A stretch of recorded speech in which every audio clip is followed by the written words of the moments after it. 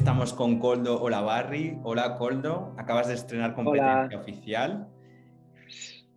Encantado, Coldo, de tenerte por aquí.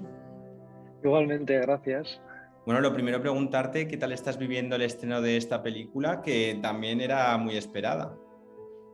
Pues yo muy feliz, porque para mí es un honor ser parte de esta película, entonces, eh, no sé, las cosas que me llegan de la gente cercana que va a verla es positivo y lo que leo también en redes es muy positivo, como que la película está gustando y está haciendo pasar un buen rato y bueno, creo que, que es un poco el objetivo, así que contento, sí, sí. Competencia oficial también es un poco ese retrato humorístico del mundo del cine.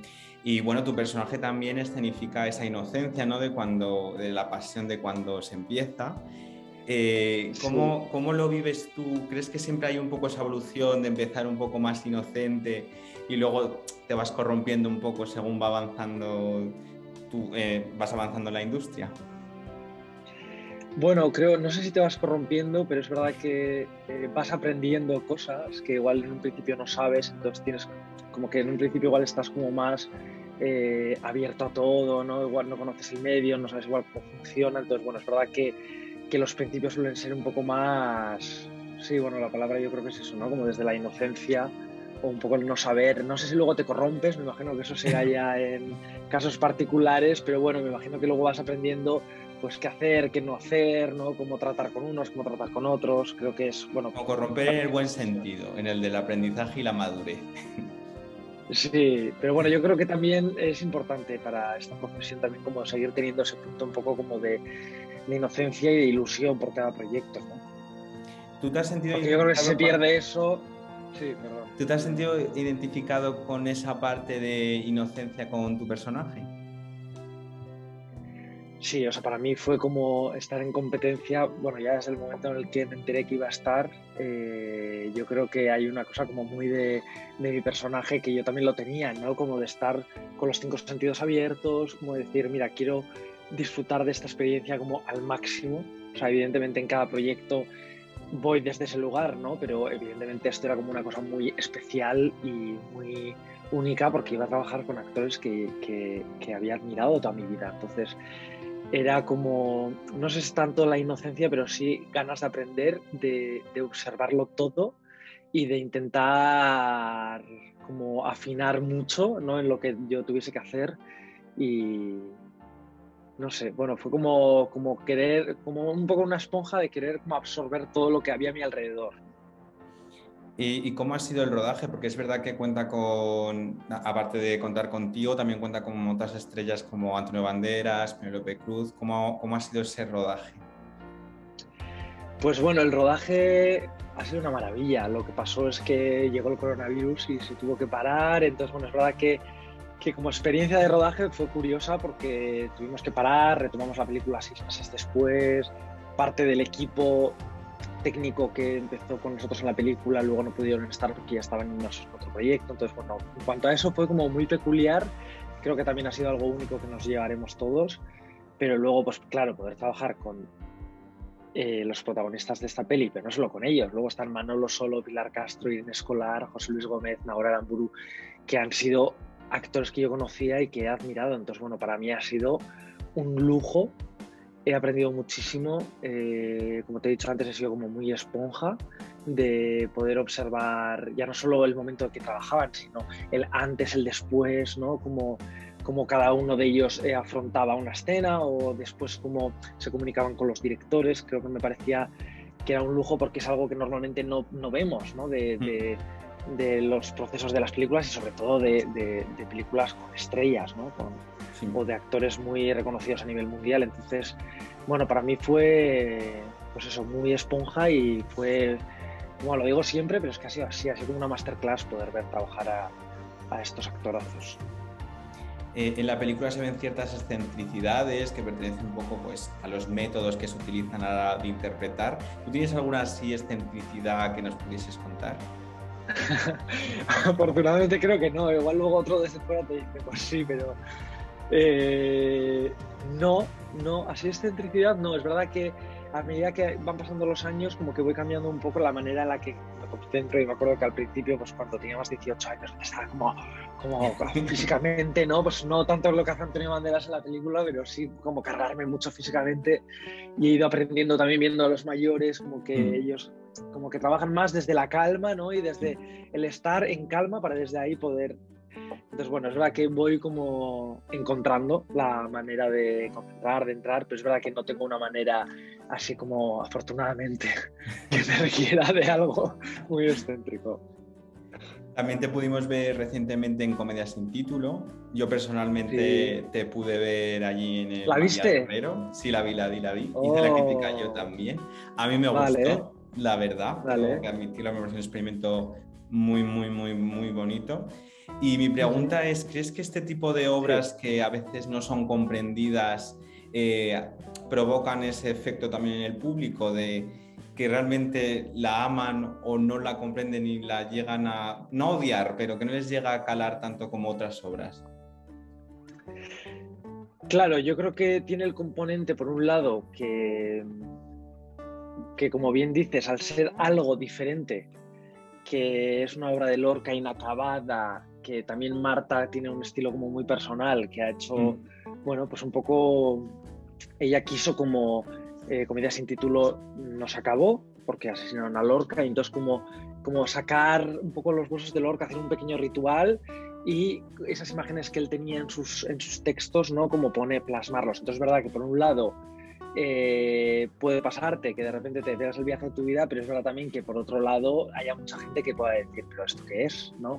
Pero creo que en este caso, con Comedia sin título, y yo creo que es llevable a todo cultura, ¿no? Que al final lo que es interesante es que genere cosas, ¿no? Y mm. Marta decía, yo lo que quiero es que los espectadores se genere algo en el patio de butacas, que la gente no se duerma o simplemente venga a, a decir, ah, vale, ¿no? Y yo creo que con Comedia sin título pasó eso, ¿no? Que de repente había gente que decía, pero qué horror, y el de al lado le decía, pero cállate, que estoy escuchando, y yo quiero disfrutar, ¿no? Y se generaba también un salir y, hablar, ¿no? Ha habido gente que, que, días después como que nos escribía y decía, llevo días pensando en la obra, tanto que te ha gustado o que no, pero ya no es tanto que el objetivo que te guste o que no, sino que genere algo y yo creo que Comedia sin título ha sido una de esas obras que sí ha generado algo en el espectador, creo. A mí me pasó, ¿eh? Yo, yo, no, estaba en si me había gustado o no, sino que a la hora de hacer la crítica estuve muchos días em, como que me había parecido algo que no podías ya digerir ya. En plan, salir y decir, esto trata de esto, sino reflexionarla y reposarla. Y a mí luego particularmente me gustó mucho por, porque creo que cuando hay obras inacabadas es difícil continuarlas, ¿no? Ese legado es, es, muy complicado. Sí, sí, sí. ¿Cómo fue retomar una obra de Lorca inacabada para ti personalmente? Pues mira, para mí fue muy curioso porque yo en el 2019 hice El sueño de la vida en el Teatro Español con Luis Pascual y El sueño de la vida fue la comedia sin título de Lorca que Alberto Conejero le dio ese final que decían que Lorca lo hubiese dado y decían que Lorca hubiese llamado a la función El sueño de la vida.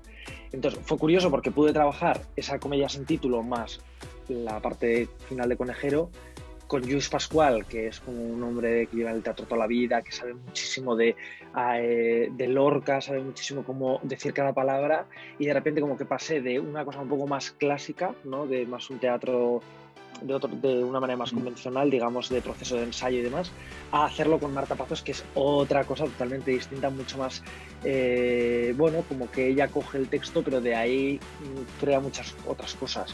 Entonces es verdad que, por ejemplo, en El sueño de la vida sí se le quiso dar un final, la intención de Marta en este caso no fue tanto de darle un final, sí de jugar un poco con lo que estaba escrito, como era cortito, como de sacar cosas, ¿no?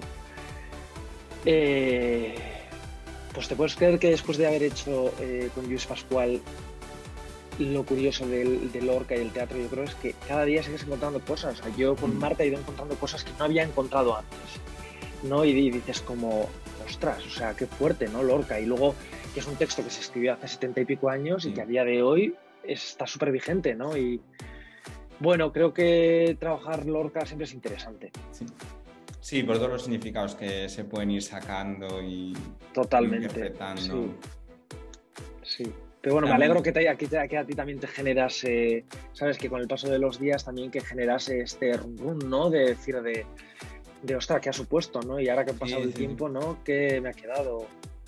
Es más, yo fui con, mi pareja, que es pianista, y por ejemplo no, no, no, le gustó demasiado, pero a mí sí. Y es lo que había el debate creativo y al final como que llegamos a la conclusión que no es que te guste o no, sino lo que te hace sentir de una manera o de otra o, o que te despierta. Porque a mí, por ejemplo, me gusta mucho lo visual y a mí me impactó muchísimo esa puesta en escena tan potente. Claro. Yo creo que era un poco también la intención de Marta, como construir algo, ella también viene del mundo de Bellas Artes, entonces ella es verdad que en sus espectáculos siempre construía algo muy visual, ¿no? que también, bueno, pues que al final lo que quedaban luego eran también imágenes, como cuando vas a un museo ¿no? y ves una imagen viva, ¿no? En este caso, pero a ver esa imagen que te produce. Y es verdad que antes tenía más esta cosa de gusta o no gusta, ya como que estoy en otra cosa más de si me gusta o no, sino que me queda, ¿no? Sí. Al final creo que es lo interesante. Sí, yo creo que el mundo del arte también es un poco más de mm, lo que te provoca, más que el hecho de si te gusta o no te gusta, que es algo muy simplificado al final. Claro, y a mí me ha pasado de ver cosas que no me han gustado, pero que de repente me han producido algo, igual sensaciones que pues, hace poco vi un capítulo, por ejemplo, de Euforia, que era Zendaya drogada todo el rato y me generó mucha ansiedad, pero de repente mm. dije como, ostras, pues qué bien, ¿no? Porque creo que igual el objetivo que tenían era eso, ¿no? De poder ver a una persona que está metida en ese mundo de la droga, ¿no? Y de, que genere algo, ¿no? Y no siempre tiene que ser algo positivo, ¿no? Entonces creo que también es interesante que no solo genere cosas positivas, sino que en un momento dado te pueda generar incluso rechazo, ¿no?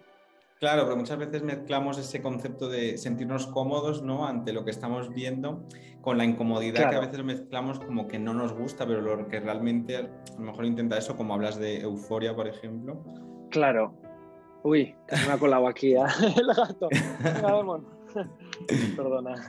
Los gatos siempre están invitados en Cinemara. gracias, gracias. También te pudimos ver en tres veces el cortometraje. Eh, yo me quedé muy impactado, me parece un tema. ¿Lo viste también? Sí, sí, sí. Vale. Em, es que estos temas eh, en torno a las, ya no solamente a la sexualidad, que es otro tema, sino en torno al sexo, por ejemplo, en la comunidad gay, que hay un poco esa hipersexualización, pero siempre se vende desde ese punto más positivo, más festivo.